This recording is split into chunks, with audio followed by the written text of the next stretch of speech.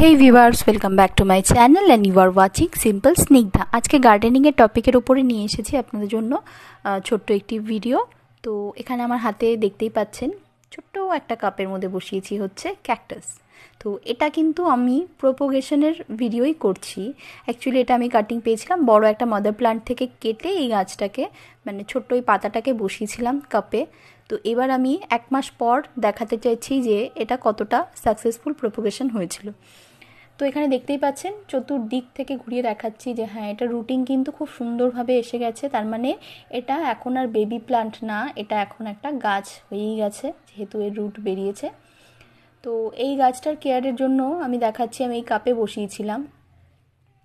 Cactus জাতীয় এরকম গাছগুলো সবসময় এরকম ছোট্ট পটে বসানো দরকার, যাতে সে মাটির থেকে সব রকম মিনারেলস মানে জল, খাবার, এই সব কিছু তৈরি করতে পারে, টেনে নিতে পারে।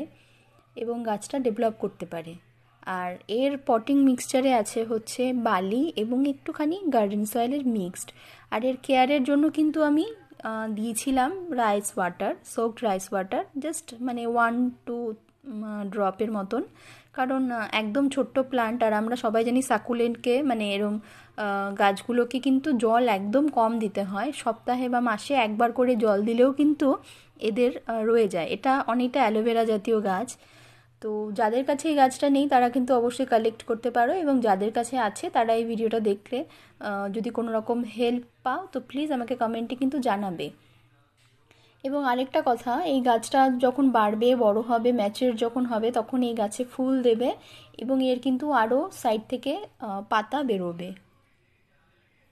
আজকের ভিডিওটি যদি ভালো লেগে থাকে, তো প্লিজ শেয়ার করে দিও। Bye bye